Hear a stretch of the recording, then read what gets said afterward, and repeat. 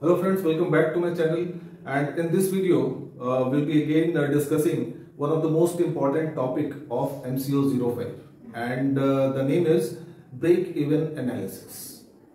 Okay. तो देखते हैं इसका सबसे पहले what is the meaning of break even analysis. Now it is the study of cost volume profit relationship. Now ये तीन words पे आपको ध्यान देना है cost volume profit.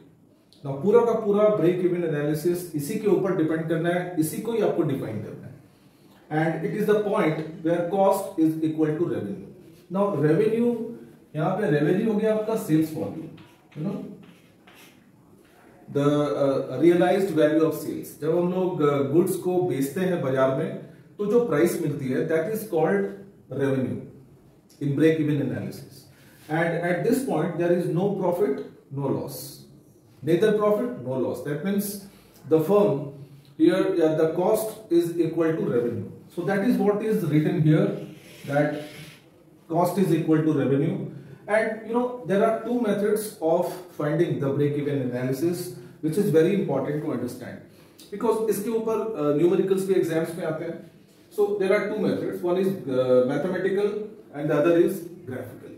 Now in mathematical method again this method is divided into two parts one is equation method the other is contribution margin method fine okay equation method में as the name implies कि हमें you know equation use करके break even point या break even analysis करनी है okay and ये equation हम लोग use करते हैं sales minus VC VC stands for variable cost you know जो प्रोडक्शन के साथ में जो कॉस्ट चेंज करते हैं and minus fix cost equal to profit ना ये तो हम लोग सब लोग जानते हैं कि सेल्स से जितने भी कॉस्ट है वेरिएबल कॉस्ट फिक्स कॉस्ट इसको अगर हम लोग माइनस कर देते हैं वी गेट प्रॉफिट एंड अगर variable cost fix cost if they are greater than the sales that means there is loss so very simple now let see what is contribution margin method यहाँ पर you no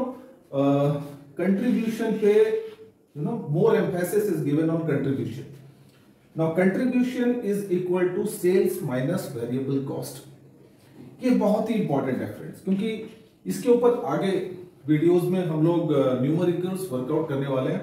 and MCO zero five में इसके ऊपर numericals आता ही आता है। ठीक है? तो ये फॉर्मूला को आपको भूलना नहीं है। Contribution is equal to sales minus variable cost Okay guys, let's see how to draw graph for uh, break-even analysis. Fine. So let's try to draw that. And uh, so this is uh, x-axis and this is y-axis. And these are uh, units sold and this is revenue. So you must remember like on the y-axis you must plot revenue and these are units sold, right? Now draw a line parallel to x-axis and this line is generally you know this is for fixed cost, okay? And uh, one line right from origin to straight like this and this line is generally for income